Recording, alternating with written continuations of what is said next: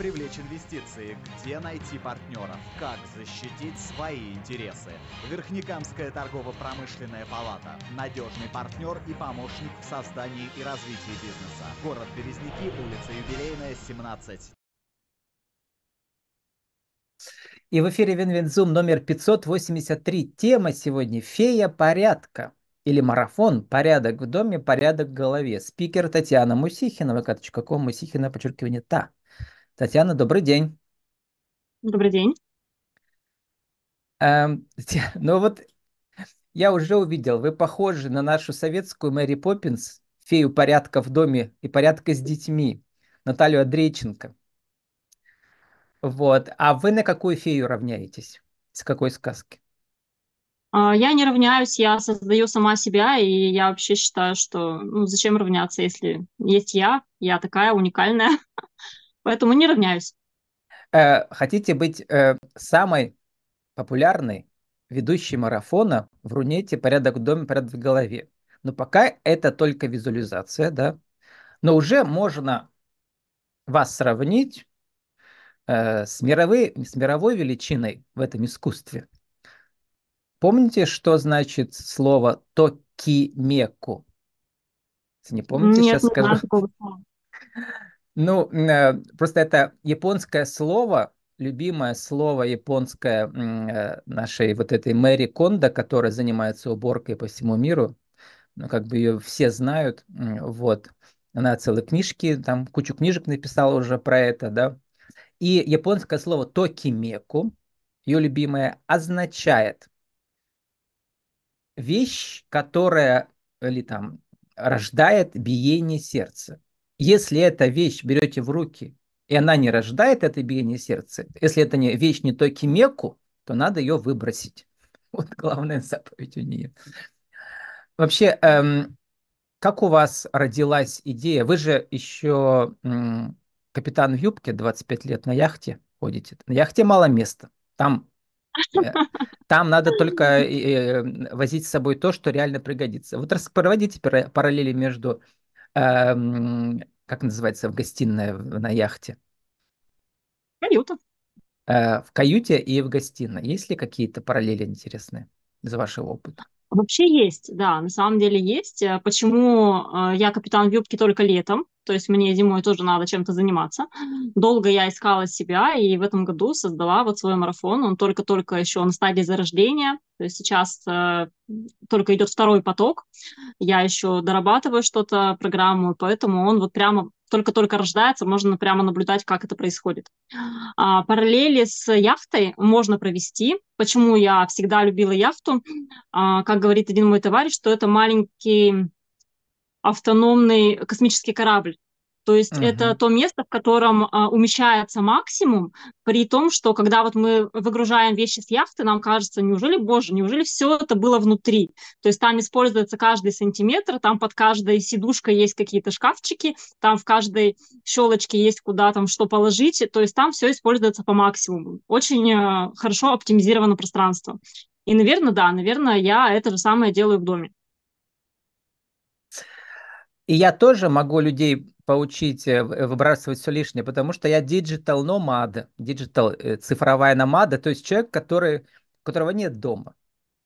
Я переезжаю каждые три, несколько месяцев, в этом году, по крайней мере, или каждые несколько лет. У меня всегда с собой максимум две сумки. Все, больше ничего нет. Угу. Кто-то мне завидует, кто-то меня жалеет. А, Татьяна, а, а вот если у человека в доме кстати, еще одно любимое слово, это в английском переводе уже, да, у этой японки Мари Кондо. Ее книга первая в английском переводе называется Art of Decluttering and Organizing, то есть искусство раз расхламления и организации. То есть мы хлам превращаем в организованное пространство. Вот. А как, какими э, словами вы кодируете тот процесс, который должен проходить э, в доме и в голове?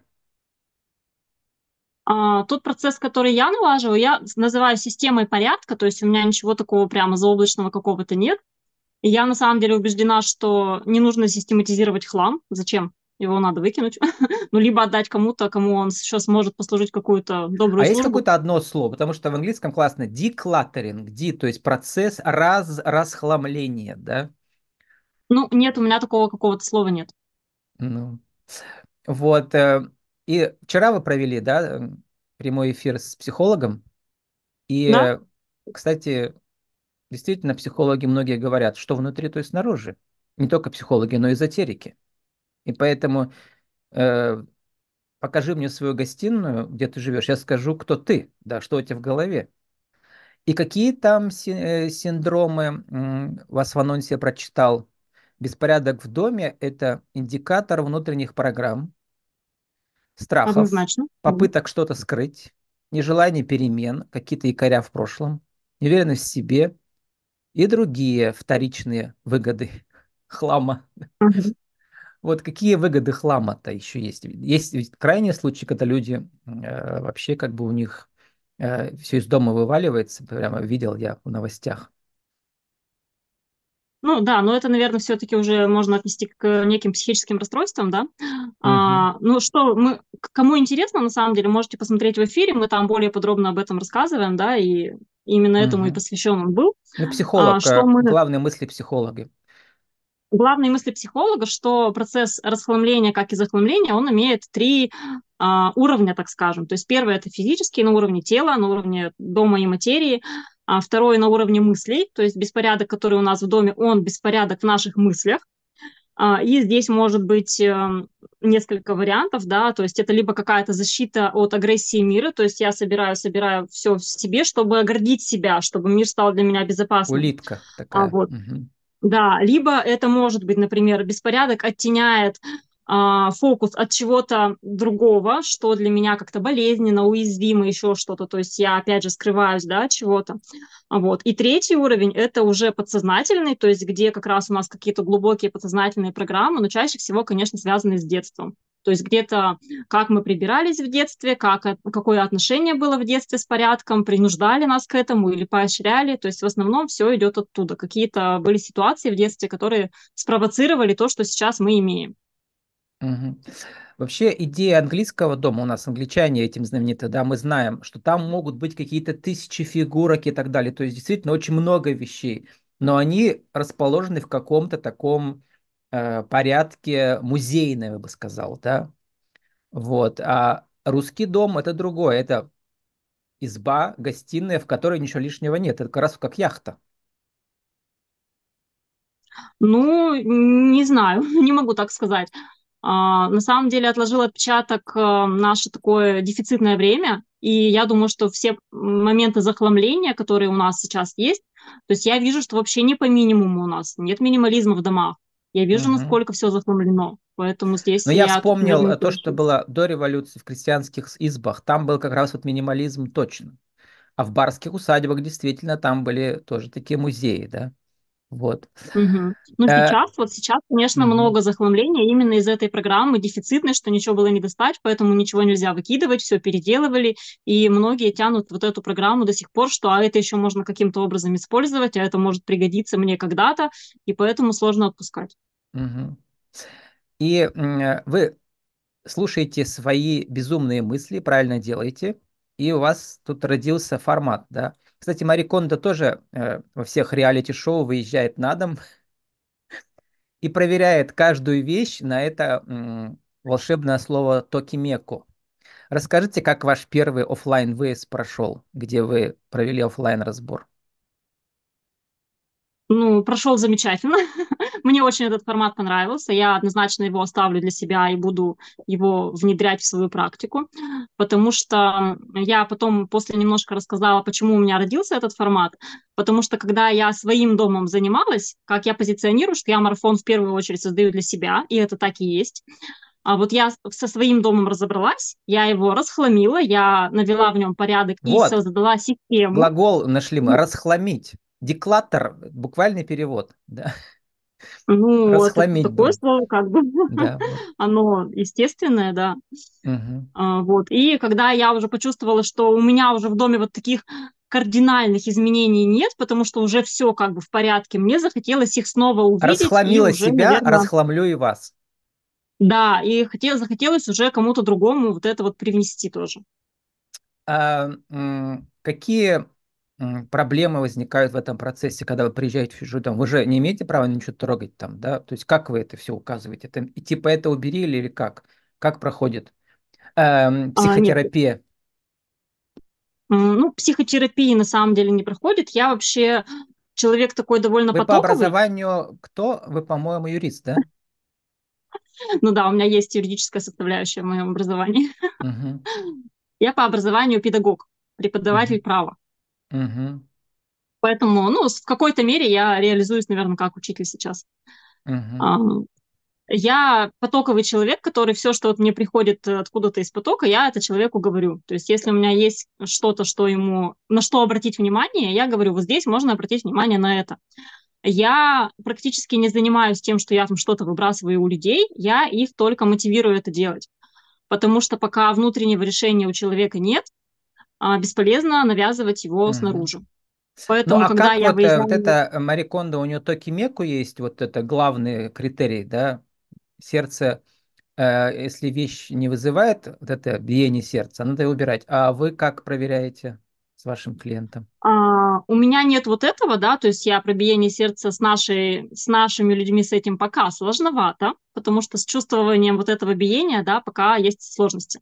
Поэтому мы таким рациональным умом разделяем на категории, то есть либо выкинуть, либо это мне не нужно, я готов кому-то отдать, то есть мы просто делим на категории. Там, это мне uh-huh. нужно, а это мне просто пока жалко, и мы это тоже на самом деле не выбрасываем, потому что процесс расхламления, он такой постепенный. Чтобы это не было революцией какой-то в жизни, мы идем поэтапно. Поэтому mm-hmm. мы просто делим на категории, а там уже человек дальше принимает решение, что Мари с ними Кондо, кстати, тоже категория. У нее там уборка не по комнатам, а по категориям. Избавление от ненужного этого понятно. И вертикальное хранение еще интересное есть. А тут какие новые способы хранения вы предлагаете? Организации Я не предлагаю новых способов. Я считаю, вертикальные способы хранения, они очень, э, ну, такие, как бы, наверное, это оптимальный вариант. А единственное, что я по ситуации могу что-то порекомендовать в конкретном случае, но это уже индивидуальная работа. То есть кажд... uh-huh. в каждом конкретном случае что можно оптимизировать. Про избавление от ненужного я подумал, наверное, у вас есть какие-то связи да, с этими. У меня некоторые, кстати, магазины эти участвовали, благотворительные, где можно приносить вещи. Разные проекты. В Перми около десятка их есть разных, всяких и больших, в том числе, которые большие предприятия перерабатывающие поддерживают, типа буматики, да. С кем-то вы поддерживаете связь, раз вы их все указываете, или просто, так сказать, вы сами их, ими пользуетесь? Ну да, на данный момент, так как я еще раз говорю, да, это всего второй поток марафона. Мне хочется, конечно, дать людям вообще все-все-все, что я могу, и запартнериться сразу со всеми, и как-то какие-то коллаборации, все это. Но пока я просто ими сама пользуюсь и просто делюсь тем, что я делаю, куда я это отвожу, просто делюсь с людьми. Впоследствии, возможно, мы какие-то совместные проекты будем делать с этими фондами, магазинами. Угу. Еще одна грань вашего вашей личности, да, творческой, это ведущий, модератор mastermind ов. У нас тоже были отдельные про это подкасты э, и проведение стратегических сессий. Вот расскажите, как, э, например, выглядел бы mastermind на тему э, расхламления?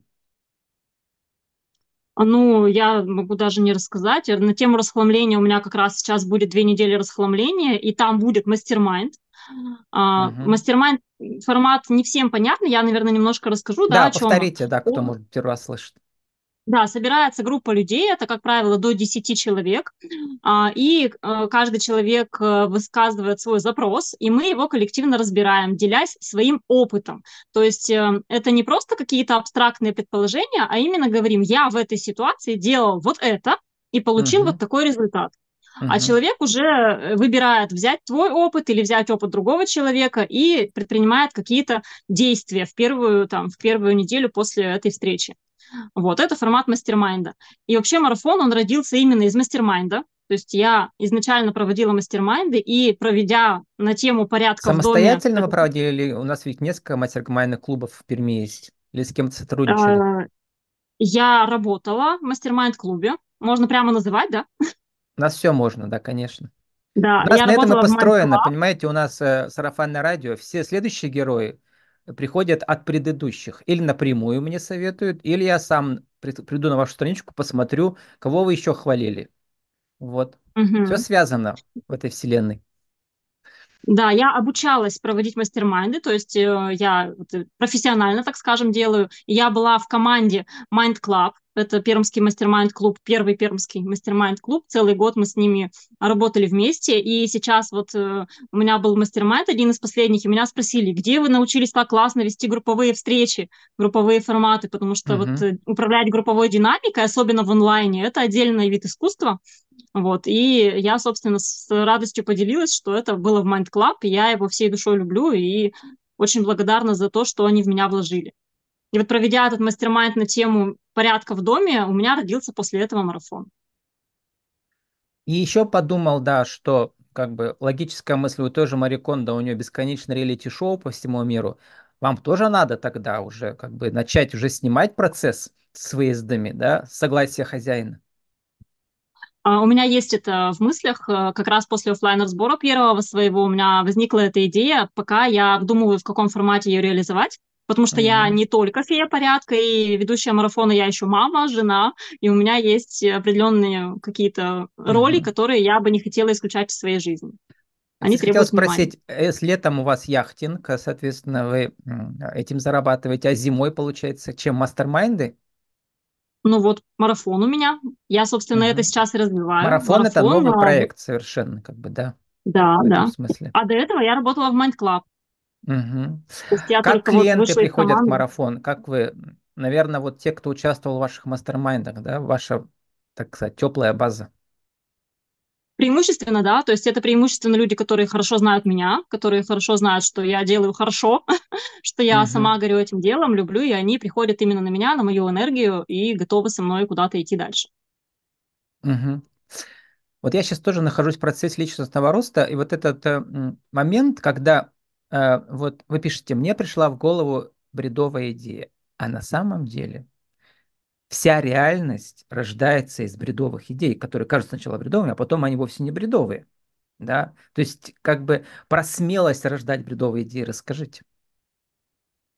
Ну, я тоже долго к этому шла. Это немножко вот к тому вопросу о том, что у нас в России чувствование пока немножко закрыто, да, и мысли, которые нам приходят в голову, нам кажется, ой, да ну, да ну, ерунда, где я и где марафон порядка uh-huh, вообще. Uh-huh. Вот. Но когда мы за этим импульсом идем, и мы его слышим, и не просто слышим, но еще и действуем, исходя из того, что мы услышали, тогда рождаются крутые проекты. Это и есть какой-то внутренний голос твоей души, я не знаю, кто это как это называет, но именно я. так вот и да, да. эзотерические источники что говорят? Они говорят, э, каждую секунду своей жизни, каждую минуту мы должны следовать за тем, что нас наиболее привлекает и рождает это чувство восторга, любви к миру.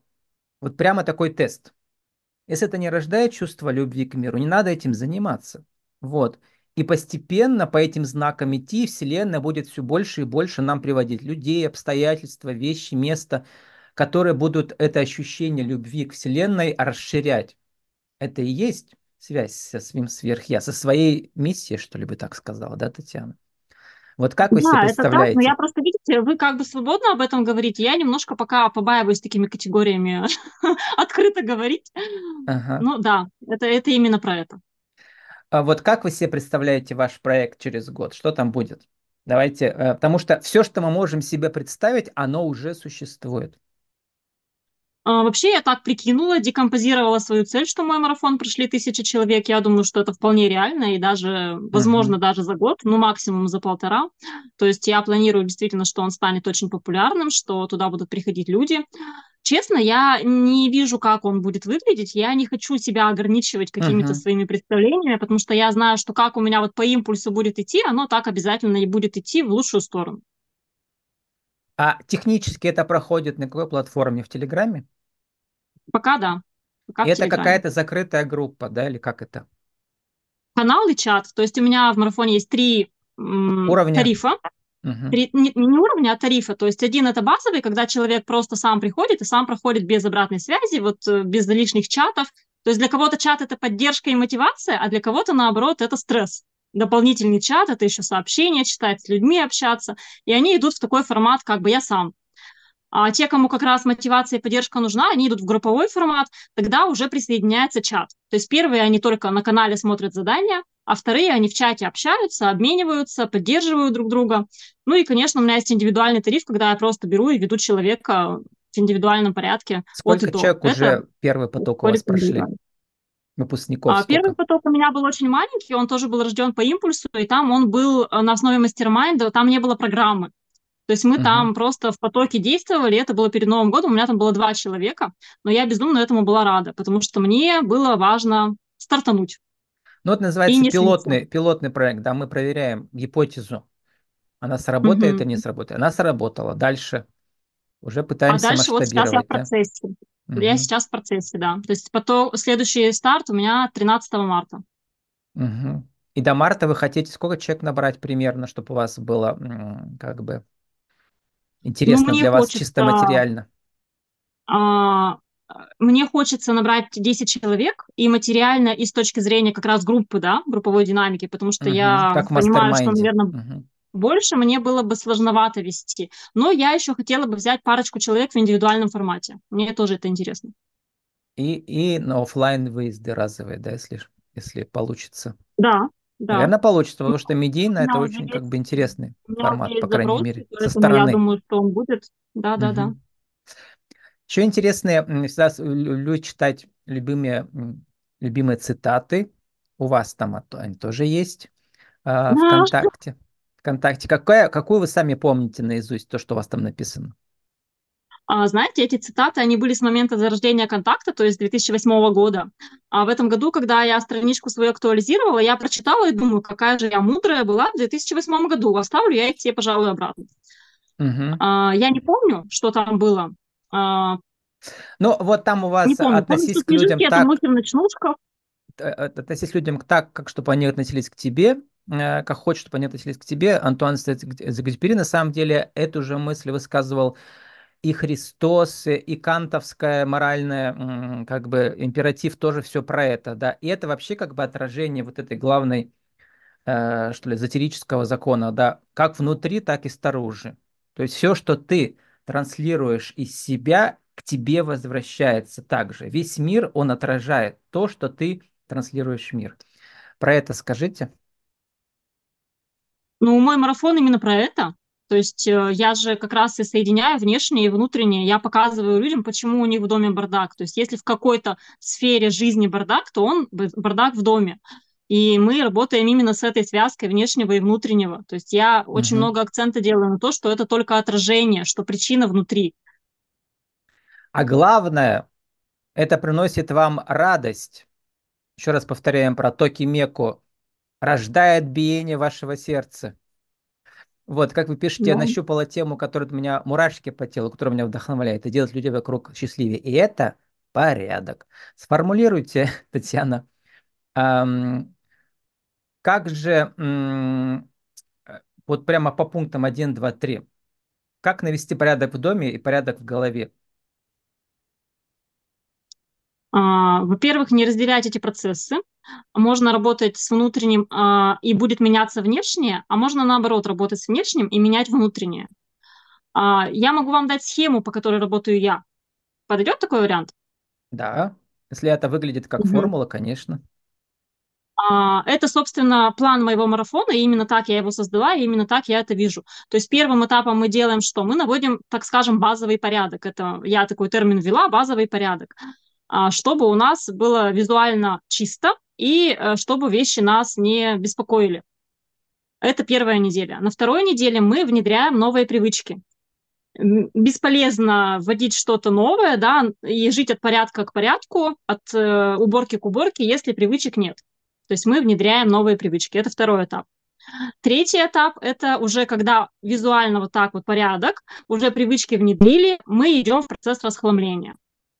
Это тот самый момент, когда бесполезно систематизировать то, что надо выкинуть. Мы идем в расхламление и проводим там вот две недели. Это такой более глубокий процесс. А, ну, там много нюансов. А, после того, как мы расхламились, уже можно что-то систематизировать, потому что, ну, уже как бы как минимум треть уже уехала из дома к этому моменту, а еще треть, она, как правило, уходит куда-то в кладовку, на чердак или куда-то вот пока, ну, куда-то, где она не в обиходе и не, не под ногами. А, так, это четвертый этап, значит, организация пространства.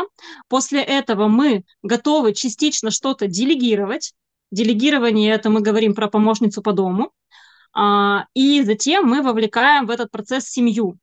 То есть, когда мы уже внутри себя поняли, как этот порядок наводить, как его поддерживать, мы уже готовы вовлекать в этот процесс семью, показывать им своим примером, и у нас уже внутри порядок. После того, как это мы делегировали и вовлекли, а, мы уже добавляем каких-то приятных мелочей, которые очень важны. Эстетика, красота, красивая посуда, красивый текстиль, какие-то детали, мелочи. То есть наполняем уже вот этой вот энергией, уютом, теплом наш дом. Вот у меня это такие этапы.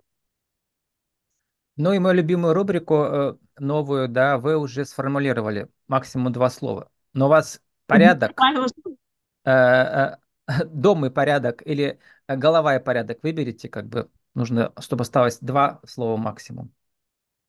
А у вас их четыре. Порядок в жизни. Порядок в жизни. Порядок жизни. Татьяна Мусихина, карточка ком Мусихина, подчеркивание та. Фея порядка или марафон. Порядок в доме, порядок в голове. Татьяна, спасибо, удачи вам. Спасибо. Как привлечь инвестиции? Где найти партнеров? Как защитить свои интересы?